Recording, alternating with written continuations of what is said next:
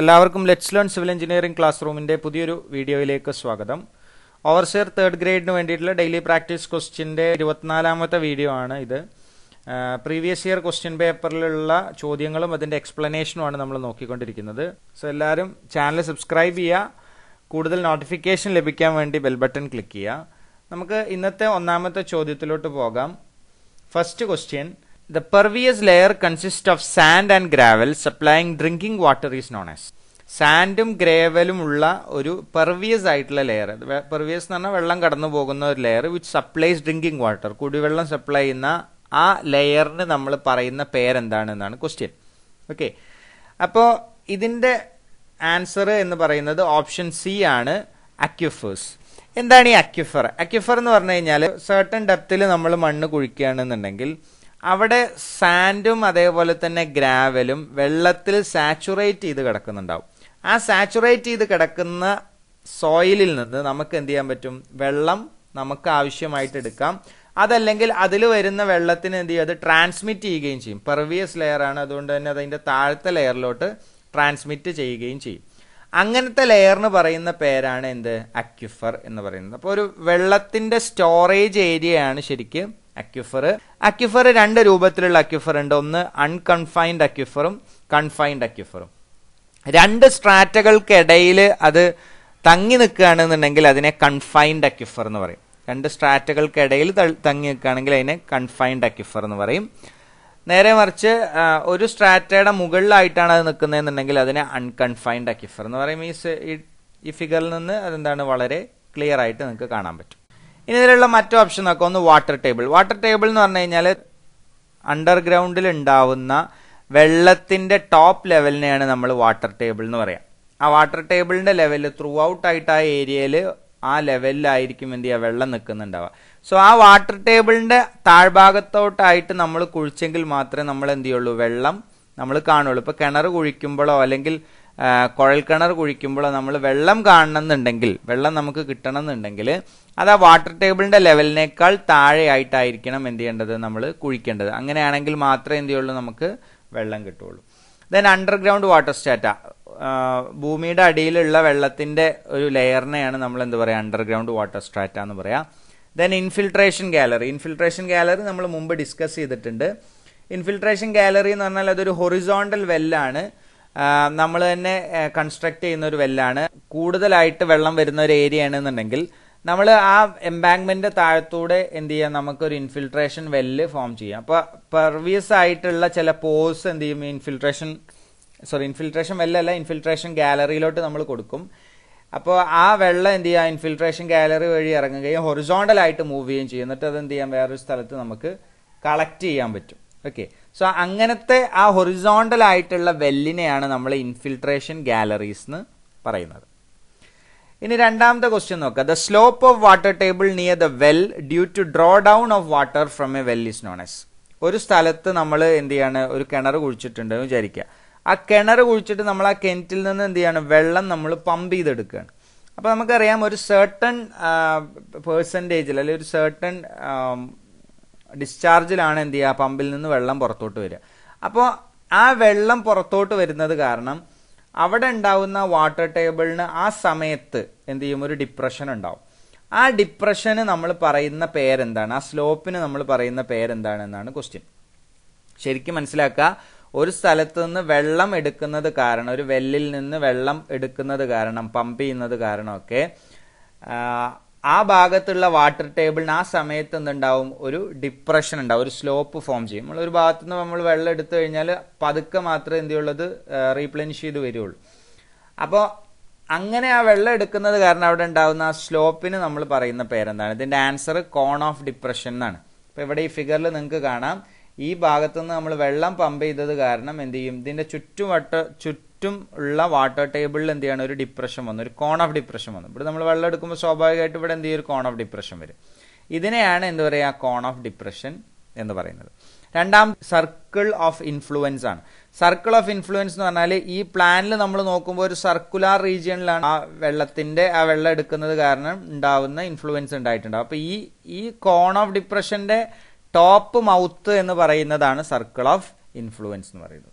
Okay അടുത്ത draw down curve draw down curve എന്ന് പറഞ്ഞാൽ നമ്മൾ വെള്ളം എടുക്കുന്നത് കാരണം ആ വെള്ളത്തിന്റെ ഡെപ്തും അതേപോലെ തന്നെ ടൈമും വെച്ച് നമ്മളൊരു ഗ്രാഫ് വരയ്ക്കുകയാണെങ്കിൽ അല്ലെങ്കിൽ എത്രയാണ് ആ ഡിസ്റ്റൻസ് എന്ന് വെച്ച് നമ്മൾ ഗ്രാഫ് വരയ്ക്കുകയാണെങ്കിൽ വെച്ച് നമ്മൾ വരയ്ക്കുന്ന ഗ്രാഫിനെയാണ് ഡ്രോ ഡൗൺ കർവ് എന്ന് പറയുന്നത്. ആ വെള്ളം എടുക്കുന്നത് കാരണം എത്ര ഡെപ്തിലോട്ടാണ് നമ്മുടെ വെള്ളത്തിന്റെ ആ കോൺ ഓഫ് ഡിപ്രഷൻ വന്നിട്ടുള്ളത് ആ ഹെഡിനെ നമ്മൾ ഡിപ്ലീഷൻ ഹെഡ് എന്ന് പറയും. ഓക്കെ ഇനി മൂന്നാമത്തെ ക്വസ്റ്റ്യൻ നോക്കാം. The measurement of colour in water is carried out by means of ഒരു വെള്ളത്തിന്റെ കളർ മെഷർ ചെയ്യാൻ വേണ്ടി നമ്മൾ ഉപയോഗിക്കുന്ന ഇൻസ്ട്രുമെന്റ് ഏതാണെന്നാണ് ക്വസ്റ്റ്യൻ ആൻസർ ടിന്റോമീറ്റർ ആണ്.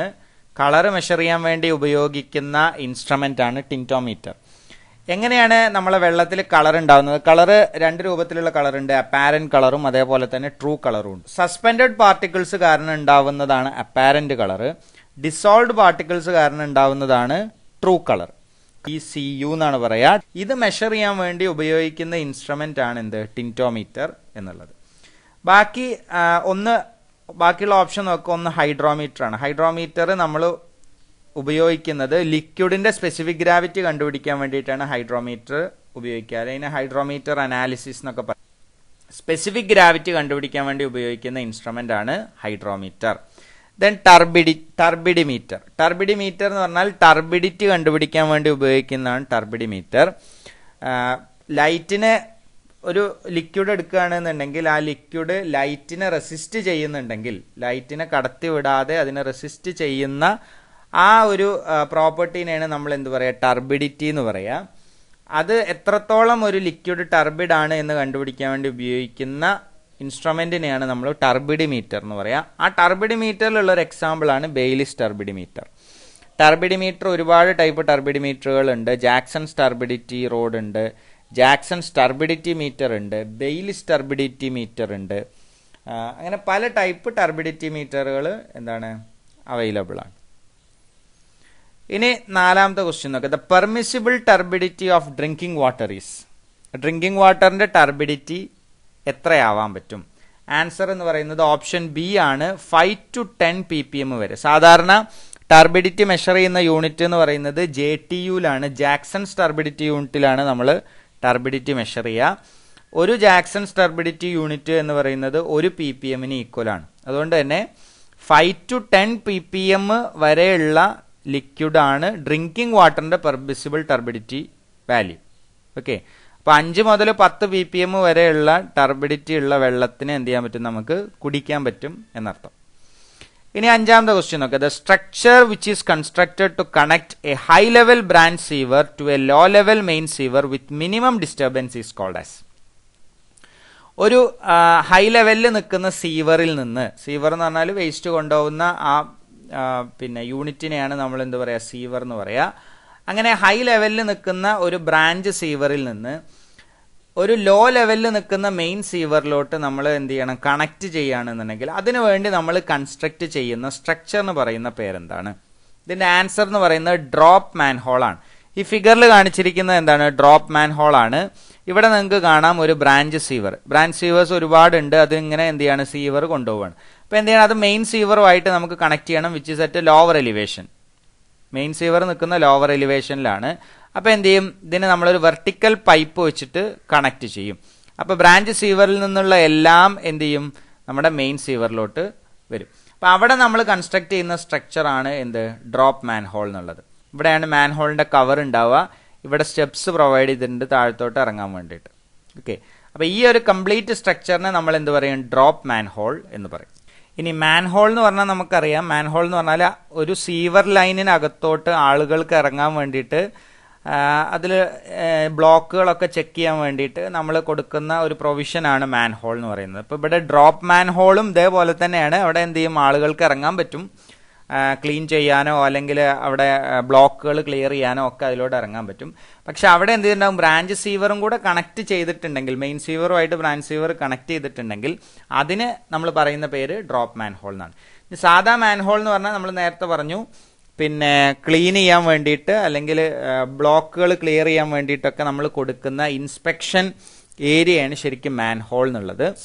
ആളുകൾക്ക് ഇറങ്ങാൻ വേണ്ടിയിട്ട് സ്റ്റെപ്പുകളോ ലാഡറോ അതിനകത്തോട്ട് എന്ത് ഉണ്ടാവും കൊടുത്തിട്ടുണ്ടാവും മറ്റൊരു ഓപ്ഷനാണ് ക്ലീൻ ഔട്ട് എന്നുള്ളത്. ക്ലീൻ ഔട്ട് എന്ന് പറഞ്ഞാൽ നമ്മുടെ ബിൽഡിങ്ങിലൊക്കെ നമ്മൾ കൊടുക്കുന്ന മെയിൻ സീവർ ലൈനിൽ ചില ഭാഗങ്ങളിൽ പിന്നെ ക്ലോഗിംഗ് ഒക്കെ സംഭവിച്ചു കഴിഞ്ഞാൽ ബ്ലോക്ക് ഒക്കെ ഉണ്ടായി കഴിഞ്ഞാൽ നമ്മൾ അതിനെ ക്ലിയർ ചെയ്യാൻ വേണ്ടി കൊടുക്കുന്ന ഒരു പ്രൊവിഷനാണ് ക്ലീൻ ഔട്ട് എന്ന് പറയുന്നത്. അതിലൂടെ നമുക്ക് എന്ത് ചെയ്യാൻ പറ്റും? എവിടെയെങ്കിലും ജംഗ്ഷനുകളിലൊക്കെ ബ്ലോക്ക് വന്നിട്ടുണ്ടോ എന്ന് ക്ലീൻ ഔട്ട് ഓപ്പൺ ചെയ്താൽ അല്ലെങ്കിൽ ആക്സസ് ചെയ്ത് കഴിഞ്ഞാൽ നമുക്ക് അറിയാൻ പറ്റും.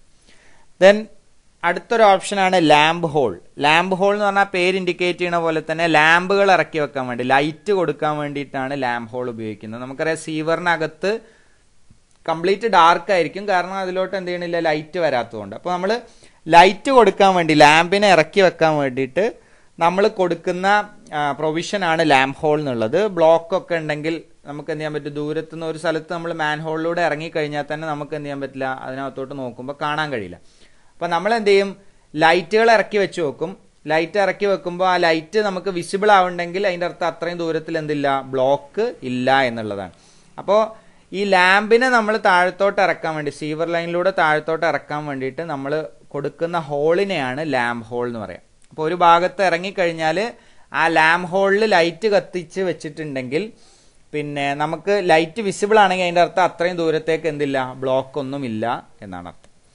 ഇനി ആറാമത്തെ ക്വസ്റ്റ്യൻ നോക്കാം. For residential building in a plot area in a plot of an area five hundred square metre the permissible covered area is ഒരു റെസിഡൻഷ്യൽ ബിൽഡിങ്ങിന്റെ റെസിഡൻഷ്യൽ ബിൽഡിങ്ങിൽ അഞ്ഞൂറ് സ്ക്വയർ മീറ്റർ ഏരിയ ഉണ്ടെങ്കിൽ ആ പ്ലോട്ട് ഏരിയ അഞ്ഞൂറ് സ്ക്വയർ മീറ്റർ ഉണ്ടെങ്കിൽ അവിടെ ഉണ്ടാവേണ്ട covered area എത്രയാണ്? അല്ലെങ്കിൽ കവറേജ് എത്രയാണ് എന്നാണ് ക്വസ്റ്റ്യൻ ഉള്ളത്. ഓക്കെ അപ്പൊ ആദ്യം എന്താണ് കവറേജ് എന്ന് പറയാം. അല്ലെ എന്താണ് ഈ കവേർഡ് ഏരിയ ഒരു സൈറ്റ് എടുത്തു കഴിഞ്ഞാൽ നമ്മൾ അതിൽ ഉണ്ടാക്കുന്ന ബിൽഡിങ്ങിന്റെ മാക്സിമം പ്ലിന്ത് ഏരിയ എത്രയാണോ ആ plinth area divided by the total plot ഏരിയനെയാണ് into hundred ചെയ്യുമ്പോൾ നമുക്ക് കിട്ടുന്നതിനെയാണ് നമ്മൾ കവറേജ് എന്ന് പറയാം.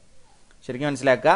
കവറേജ് എന്ന് പറഞ്ഞു കഴിഞ്ഞാൽ maximum plinth area at any level ഏത് ലെവലിലാണോ മാക്സിമം പ്ലിന്ത് ഏരിയ വരുന്നത് divided by the total plot area into hundred ചെയ്യുമ്പോൾ നമുക്ക് കവറേജ് കിട്ടും. നമ്മൾ റെസിഡൻഷ്യൽ ബിൽഡിംഗ് എടുക്കുകയാണെങ്കിൽ ആ റെസിഡൻഷ്യൽ ബിൽഡിംഗ് റെസിഡൻഷ്യൽ ബിൽഡിങ്ങിന് എന്തുണ്ടാവും? കവറേജുകൾ ഡിഫറെന്റ് ആണ് ഫോർ ഡിഫറെന്റ് ഏരിയാസ് അപ്പോൾ ഇവിടെ ഇവിടെ നിങ്ങൾക്ക് ഈ ടേബിളിൽ കാണാം. ഇരുന്നൂറ്റി നാൽപ്പത് എം സ്ക്വയർ വരെയാണ് ഏരിയ ഉള്ളത് എന്നുണ്ടെങ്കിൽ പ്ലോട്ട് ഏരിയ ഉള്ളത് എന്നുണ്ടെങ്കിൽ അവിടെ നമുക്ക് കവറേജ് കിട്ടേണ്ടത് സിക്സ്റ്റി ഫൈവ് പെർസെന്റേജ് ആണ്. ഇവിടെ ക്വസ്റ്റ്യനിൽ തന്നിട്ടുള്ളത് അഞ്ഞൂറ് സ്ക്വയർ മീറ്റർ ആണ്. അതായത് over two forty up to five ഹൺഡ്രഡോ അല്ലെങ്കിൽ five hundred to seven fifty ആണെന്നുണ്ടെങ്കിൽ സിക്സ്റ്റി പെർസെന്റേജ് ആണ് എന്ത് ചെയ്യുന്നത്? കവറേജ് വരുന്നത്. ഓക്കെ അപ്പോൾ ഇതിന്റെ ആൻസർ എന്ന് പറയുന്നത് sixty percentage of the site area എന്നുള്ളതാണ്. അപ്പോൾ കവറേജ് വ്യത്യാസം ഉണ്ടാവും. കൊമേഴ്ഷ്യലിനും റെസിഡൻഷ്യലിനും ഒക്കെ വ്യത്യാസമുണ്ട് അതേപോലെ തന്നെ ഏരിയയ്ക്ക് അനുസരിച്ച് എന്ത് ചെയ്യാം? അതിൽ മാറ്റം വരാം. അപ്പോൾ അഞ്ഞൂറ് സ്ക്വയർ മീറ്റർ വരെയാണ് പ്ലോട്ട് ഏരിയ ഉള്ളത് എന്നുണ്ടെങ്കിൽ നമ്മൾ പ്രൊവൈഡ് ചെയ്യുന്ന കവറേജ് എന്ന് പറയുന്നത് സിക്സ്റ്റി പെർസെന്റേജ് ആണ്. ഇനി ഏഴാമത്തെ ക്വസ്റ്റ്യൻ മുറം ഈസ് ആൻ എക്സാമ്പിൾ ഓഫ് മുറം എന്ന് പറഞ്ഞ സ്റ്റോണ് എന്ത് ടൈപ്പ് റോക്കാണ് ആൻസർ മെറ്റമോർഫിക് ആണ്. മെറ്റമോർഫിക് എന്ന് പറഞ്ഞാൽ ഒരു ഭൂമിയുടെ അടിയിൽ നല്ല ചൂടും അതേപോലെ തന്നെ പ്രഷറും കാരണം അതിന്റെ പാരന്റ് റോക്കിന് മാറ്റം സംഭവിച്ചുണ്ടാകുന്ന റോക്കിനെയാണ് നമ്മൾ മെറ്റമോർഫിക് റോക്ക് എന്ന് പറയാം. മെറ്റമോർഫിക് റോക്കിന്റെ എക്സാമ്പിളാണ് മുറം എന്നുള്ളത്. മറ്റു റോക്കുകളൊക്കെ നമ്മൾ പറഞ്ഞതാണ്. സെഡിമെന്ററി റോക്ക് എന്ന് പറഞ്ഞാൽ പിന്നെ പാരന്റ് റോക്ക് ഡിസിന്റഗ്രേറ്റ് ചെയ്തിട്ട് അത് സെഡിമെന്റ് ചെയ്തിട്ടുണ്ടാവുന്ന റോക്കിനെയാണ് സെഡിമെന്ററി റോക്ക് എന്ന് പറയാം. സെഡിമെന്ററി റോക്കുകൾ കൂടുതലും സ്ട്രാറ്റിഫൈഡ് റോക്കുകളായിരിക്കും ദെൻ അക്വസ് റോക്ക് എന്ന് പറഞ്ഞാൽ വെള്ളത്തിൽ വെള്ളത്തിൽ ഉണ്ടാകുന്ന അല്ലെങ്കിൽ വെള്ളത്തിൽ നമ്മൾ കൂടുതലായിട്ട് കാണുന്ന റോക്കിനെയാണ് നമ്മൾ അക്വസ് റോക്ക് എന്ന് പറയാം. ഇഗ്നിയസ് എന്ന് പറഞ്ഞാൽ മോൾട്ടൺ ലാവ തണുത്തുറഞ്ഞുണ്ടാവുന്നതാണ് ഇഗ്നിയസ് റോക്കുകൾ ഇനി എട്ടാമത്തെ question the tiles are burned in typical kiln is known as tile burn ചെയ്യുന്ന കിന്നിന്റെ പേരെന്താണ് എന്നാണ്. ആൻസർ സിയാൽക്കോട്ടെ കിന്നാണ് ടൈലുകൾ ബേൺ ചെയ്യുന്ന കിന്നിനെയാണ് നമ്മൾ സിയാൽക്കോട്ടെ കിൻ എന്ന് പറയാം. ബാക്കിയുള്ള കിന്നുകൾ ബുൾ സ്ട്രഞ്ച് ഹോഫ്മന് കണ്ടിന്യൂസ് ഒക്കെ ഇതിനെ ബേൺ ചെയ്യാൻ വേണ്ടിയിട്ട് ഉപയോഗിക്കുന്ന കിന്നുകളാണ്. അതിൽ കണ്ടിന്യൂസ് കിന്ന് ബ്രിക്കിനെ ബേൺ ചെയ്യാൻ ഉപയോഗിക്കുന്നത് രണ്ട് ടൈപ്പ് കിന്നുകളുണ്ട്. ഇന്റർമിറ്റന്റ് കിന്നുകളും അതേപോലെ തന്നെ കണ്ടിന്യൂസ് കിന്നും ഉണ്ട് ഇന്റർമിറ്റന്റ് കിന്ന് പറഞ്ഞു കഴിഞ്ഞാൽ ഔട്ട്പുട്ട് എപ്പോഴും കിട്ടൂല. ഇന്റർമിറ്റന്റ് ആയിട്ട് മാത്രം. ഒരു ഔട്ട്പുട്ട് കിട്ടിയതിന് ശേഷം മാത്രമേ കുറച്ച് സമയം കഴിഞ്ഞതിന് ശേഷം അടുത്ത ഔട്ട്പുട്ട് കിട്ടുള്ളൂ. കണ്ടിന്യൂസ് സ്കിന്നിൽ അങ്ങനെയല്ല. നമ്മൾ സപ്ലൈ ചെയ്യുന്നതും അതേപോലെ തന്നെ നമുക്ക് ഔട്ട്പുട്ടും എന്താണ്? കണ്ടിന്യൂസ് ആണ്. അതുകൊണ്ടാണ് അതിനെ കണ്ടിന്യൂസ് സ്കിൻ എന്ന് പറയുന്നത്. കണ്ടിന്യൂസ് സ്കിന്നിന്റെ രണ്ട് ക്ലാസിഫിക്കേഷൻ ആണ്. ഒന്ന് ബുൾ സ്ട്രെഞ്ചും ഹോഫ്മാനും അപ്പോൾ ടൈൽ ബേൺ ചെയ്യാൻ വേണ്ടി ഉപയോഗിക്കുന്ന കിന്ന ഏതാന്ന് വെച്ചാൽ സിയാൽക്കോട്ടാണ് ബാക്കിയുള്ളത് ബുൾ സ്ട്രെഞ്ച് ഹോഫ്മാൻ ഒക്കെ ബ്രിക്കിനെ ബേൺ ചെയ്യാൻ വേണ്ടി ഉപയോഗിക്കുന്ന കിന്നുകളാണ് ഇനി ഒമ്പതാമത്തെ question the horizontal mortar joint on which masonry units are laid is called as brick lay ചെയ്യുന്നതിൽ ബ്രിക്ക് അല്ല എന്ത് മെയ്സണറി യൂണിറ്റ് ആണെന്നുണ്ടെങ്കിൽ ആ മെയ്സണറി യൂണിറ്റ് ലേ ചെയ്യുമ്പോൾ അവിടെ ഉണ്ടാവുന്ന ആ ഹൊറിസോണ്ടൽ മോർട്ടാർ ജോയിന്റിന് എന്താണ് നമ്മൾ പറയാം? ആൻസർ ബെഡ് എന്നാണ്. ബെഡ് എന്ന് പറഞ്ഞു കഴിഞ്ഞാൽ നമ്മൾ ഒരു ഒരു കോഴ്സ് വെച്ച് കഴിഞ്ഞാൽ ആ കോഴ്സ് കഴിഞ്ഞ് അടുത്ത ലെയർ നമ്മൾ വെക്കുന്നത് അടുത്ത മെയ്സണറി യൂണിറ്റുകൾ നമ്മൾ വെക്കുന്നത് ഒരു മോർട്ടാർ ജോയിന്റിന്റെ മുകളിലായിരിക്കും. ഈ ഫിഗറിൽ നിങ്ങൾക്ക് കാണുന്നത് ഫസ്റ്റ് ലെയർ ഓഫ് ബ്രിക്ക് ആണ്. ആ ലെയർ ഓഫ് ബ്രിക്ക് വെച്ചതിന് ശേഷം പിന്നെ എന്ത് ചെയ്തു? ഒരു മോർട്ടാറിന്റെ ജോയിന്റ് കൊടുത്തിട്ടാണ് എന്ത് ചെയ്യുന്നത്? അടുത്ത ബ്രിക്ക് വെക്കുന്നത്. അപ്പൊ ഈ പോർഷനെയാണ് നമ്മൾ എന്ത് പറയാ? ബെഡ് എന്ന് പറയാം. എവിടെയാണോ മുകളിലുള്ള മെയ്സണറി യൂണിറ്റുകൾ റെസ്റ്റ് ചെയ്യുന്നത് ആ റീജിയനാണ് നമ്മൾ എന്ത് പറയുക ബെഡ് എന്ന് പറയുക ഇവിടെ ഒരു മോർട്ടാറിന്റെ ജോയിന്റ് കൊടുത്തിട്ടുണ്ടാവും. ഇനി അടുത്തത് പെർപ്പന്റ് ആണ്. പെർപ്പന്റ് എന്ന് പറഞ്ഞു കഴിഞ്ഞാൽ ഈ വെർട്ടിക്കൽ ജോയിന്റുകളെയാണ് നമ്മൾ പെർപ്പന്റ് എന്ന് പറയുന്നത് ഇവിടെ ഹെഡ് ജോയിന്റ് എന്ന് കാണിച്ചിട്ടുണ്ട്. ബ്രിക്കുകൾ ലെങ്ത്തിലോ അതേപോലെ തന്നെ ക്രോസ് സെക്ഷനിലോ ഒക്കെ സെപ്പറേറ്റ് ചെയ്യുന്ന ആ ഒരു വെർട്ടിക്കൽ ജോയിന്റുകളെ നമ്മൾ പെർപ്പൻഡ് എന്ന് പറയും. ദെൻ ലാപ്പാണ് ലാപ്പ് എന്ന് പറഞ്ഞു കഴിഞ്ഞാൽ രണ്ട് സക്സസീവ് ആയിട്ടുള്ള കോഴ്സുകൾ തമ്മിൽ ഇപ്പോൾ ഇവിടെ സക്സസീവ് കോഴ്സ് എന്ന് പറഞ്ഞാൽ ഈ കോഴ്സും ഈ കോഴ്സും എന്താണ് സക്സസീവ് ആണ്. അടുത്തടുത്ത് വന്ന കോഴ്സുകളാണ് അപ്പോൾ ആ സക്സസീവ് കോഴ്സുകൾ തമ്മിൽ ഉണ്ടാവുന്ന വെർട്ടിക്കൽ ജോയിന്റ് എടുക്കുക. അപ്പോൾ ഈ ഒരു ജോയിന്റും ഈ ഒരു ജോയിന്റും എടുക്കുക എന്ന് വിചാരിക്കുക. ആ രണ്ട് ജോയിന്റുകൾക്കിടയിൽ ഒരു ഹൊറിസോണ്ടൽ ഡിസ്റ്റൻസ് ഉണ്ടാവും. ഈ രണ്ടെണ്ണം നോക്കാം ഇതൊരു വെർട്ടിക്കൽ ജോയിന്റ് ആണ് ഇതൊരു വെർട്ടിക്കൽ ജോയിന്റ് ആണ്. ഇത് തമ്മിലൊരു ഹൊറിസോണ്ടൽ ഡിസ്റ്റൻസ് ഉണ്ട്. ഈ ഡിസ്റ്റൻസിനെയാണ് നമ്മൾ ലാപ്പ് എന്ന് പറയുന്നത്. ഓക്കെ രണ്ട് സക്സസീവ് കോഴ്സുകൾ തമ്മിലുള്ള വെർട്ടിക്കൽ ജോയിൻസിൻ വെർട്ടിക്കൽ ജോയിൻസുകൾ തമ്മിലുള്ള ഹൊറിസോണ്ടൽ ഡിസ്റ്റൻസിനെയാണ് നമ്മൾ ലാപ്പ് എന്ന് പറയുന്നത്. ഇനി ഫ്രോഗ് ആണ്. ഫ്രോഗ് എന്ന് പറഞ്ഞാൽ ഒരു ബ്രിക്കിൽ ഉണ്ടാവുന്ന ബ്രിക്കിന്റെ ടോപ്പ് സർഫസിൽ ഉണ്ടാവുന്ന ഡിപ്രഷനെയാണ് നമ്മൾ ഫ്രോഗ് എന്ന് പറയുക ബോണ്ടിങ് കിട്ടാൻ വേണ്ടിയിട്ട് മോർട്ടാറുമായിട്ട് മോർട്ടാർ ബോണ്ടിങ് കിട്ടാൻ വേണ്ടിയിട്ടാണ് നമ്മൾ എന്ത് ചെയ്യുന്നത്? ഫ്രോഗ് കൊടുക്കുന്നത്. ഒരു ബ്രിക്കും അടുത്ത ബ്രിക്കും വെക്കുമ്പോൾ ആ ഡിപ്രഷൻ അവിടെ കൊടുത്തിട്ടുണ്ടെങ്കിൽ അതിലൂടെ എന്ത് ചെയ്യും? നമ്മൾ മോർട്ടാർ ഫില്ല് ചെയ്യുകയും അതിന് കൂടുതൽ സ്ട്രെങ്ത് കിട്ടുകയും ചെയ്യും.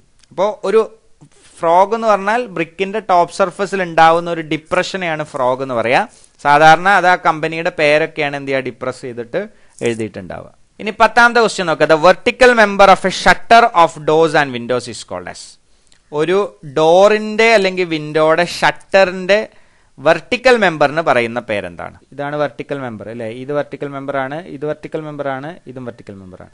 അപ്പോൾ വെർട്ടിക്കൽ മെമ്പർ എന്ന് പറഞ്ഞു കഴിഞ്ഞാൽ ഈ രണ്ട് സൈഡിലുള്ളതാണ് നമ്മൾ ഉദ്ദേശിക്കേണ്ടത്.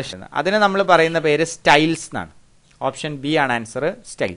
അപ്പോൾ ഇവിടെ ടോപ്പിലുള്ള ഈ സ്റ്റൈലിന് അതായത് ലോക്ക് പിടിപ്പിക്കുന്ന ഈ സ്റ്റൈലിന് നമ്മൾ ലോക്ക് സ്റ്റൈൽ എന്നാണ് പറയുക. ഓക്കെ. ഇപ്പുറത്തുള്ളതിനെ ഹിഞ്ച് പിടിപ്പിക്കുന്ന സ്റ്റൈലിനെ നമ്മൾ ഹിഞ്ച് സ്റ്റൈൽ എന്ന് പറയും. ഡോറിന് ഹിഞ്ച് കൊടുക്കുന്ന അവിടെ നമ്മൾ ഹിഞ്ച് സ്റ്റൈൽ എന്ന് പറയും. പിന്നെ റെയിൽ എന്ന് പറഞ്ഞു കഴിഞ്ഞാൽ ഈ ഹൊറിസോണ്ടൽ ആയിട്ടുള്ള മെമ്പറിനെയാണ് നമ്മൾ റെയിൽ എന്ന് പറയും. ഇതിനെ ടോപ്പ് റെയിൽ എന്ന് പറയും ഇത് ക്രോസ് റെയിൽ എന്ന് പറയും ഇതിനെ ലോക്ക് റെയിൽ എന്ന് പറയും ഇതിനെ കിക്ക് റെയിൽ എന്ന് പറയും. ഓക്കെ. ദെൻ അപ്രൈറ്റ് അപ്രൈറ്റ് എന്ന് പറഞ്ഞാൽ വെർട്ടിക്കലി നമ്മൾ കൊടുക്കുന്ന ഒരു സ്ട്രക്ചറൽ സപ്പോർട്ടിനെയാണ് നമ്മൾ അപ്രൈറ്റ് എന്ന് പറയുക പോസ്റ്റ് എന്ന് പറഞ്ഞാലും വെർട്ടിക്കൽ മെമ്പറാണ്. ലോഡിനെ എടുക്കാൻ വേണ്ടിയിട്ട് നമ്മൾ കൊടുക്കുന്നതാണ് എന്ത്? പോസ്റ്റ് എന്ന് പറയുന്നത്. ഷട്ടറിൽ ഡോറിന്റെ അല്ലെങ്കിൽ വിൻഡോയുടെ ഷട്ടറിൽ വേറെ ഒരുപാട് ടേമുകൾ വരുന്നുണ്ട്. ഒന്നാണ് മുള്ളിയൻ. മുള്ളിയൻ എന്ന് പറഞ്ഞാൽ സ്പേസിനെ ഡിവൈഡ് ചെയ്യാൻ വേണ്ടിയിട്ട് വെർട്ടിക്കലി സ്പേസിനെ ഡിവൈഡ് ചെയ്യാൻ വേണ്ടിയിട്ട് നമ്മൾ കൊടുക്കുന്ന വെർട്ടിക്കൽ മെമ്പറാണ് മുള്ളിയൻ എന്ന് പറയുന്നത്. ഓക്കെ ദെൻ ഷട്ടറിൽ വരുന്നത് ഇതിനെ നമ്മൾ പാനൽസ് എന്ന് പറയും. അത് സാഷിങ് വരാം. സാഷിങ് എന്ന് പറഞ്ഞാൽ ഗ്ലാസ് കൊടുത്തിട്ടുള്ളതിന് നമ്മൾ സാഷ്ഡ് ഡോർ എന്നാണ് പറയുക മുള്ളിയൻസ് ഉണ്ട്. ഹൊറിസോണ്ടലായിട്ട് ഡിവൈഡ് ചെയ്യുന്നത് നമ്മുടെ വിൻഡോയിലാണെന്നുണ്ടെങ്കിൽ ഒറിസോണലായിട്ട് ഡിവൈഡ് ചെയ്യുന്നതിനെ നമ്മൾ ട്രാൻസം എന്നാണ് പറയുക ബിൽഡിംഗ് മെറ്റീരിയൽസും ബിൽഡിംഗ് കൺസ്ട്രക്ഷൻ എന്നൊക്കെ ഒരുപാട് ചോദ്യങ്ങളുണ്ടാവും. സോ ഈ ഭാഗം എല്ലാവർക്കും മനസ്സിലായി എന്ന് വിചാരിക്കുന്നു. Thank for watching the video.